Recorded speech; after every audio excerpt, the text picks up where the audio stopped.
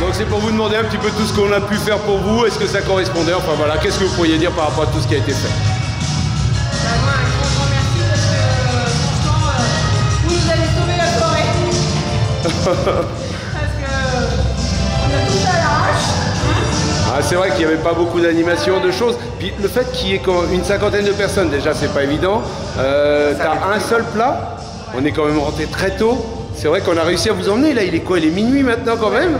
Euh, ouais, c'est vrai que les animations étaient là aussi. Je pense que. Et puis, euh, euh, faut dire que la salle est très grande Ouais.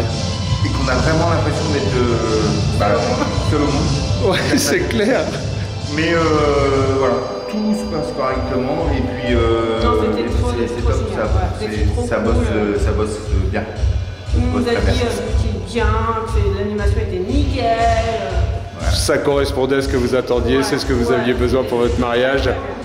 Alors la dernière petite question, je ne vais pas vous embêter plus longtemps. Toi c'est pareil, c'est parce que tu poses des écrans LED, il va falloir quand même le dire, parce que le jour où on veut installer des grands écrans LED pour les futurs mariages, ils nous demandent, il n'y a pas de souci, on peut faire ça maintenant, hein, en gros, en géant. Et puis la dernière, la retouche de la coiffeuse, euh, La taille que vous voulez, euh, où vous voulez, quand vous voulez. voilà. Et la dernière question, elle sera, la question, la dernière, elle sera toute bête, c'est que pourriez-vous dire aux personnes qui souhaiteraient nous prendre mais qui hésiteraient à prendre ce No Concept Plus Bah, je ne sais même pas pourquoi vous cherchez quelqu'un. Ouais, faut pas essayer, faut pas hésiter, faut, faut prendre. Eh bien merci beaucoup. La soirée n'est pas finie. Je vous laisse continuer. Il n'y a plus qu'à y retourner.